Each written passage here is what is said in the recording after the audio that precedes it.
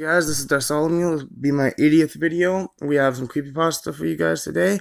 I have three original creepypasta that I wrote myself.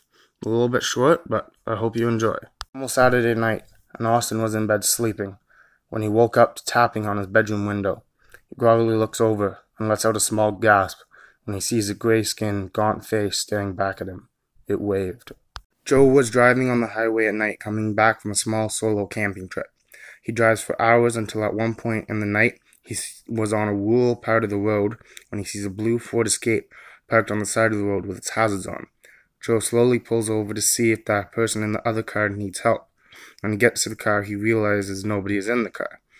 Joe fears this might be a setup, and his fears are met when four masked men kidnap him from the side of the road. Ashley, a 17 year old high school student, decided to take a shortcut home through the woods. She's never gone this way before, but thought what could go wrong?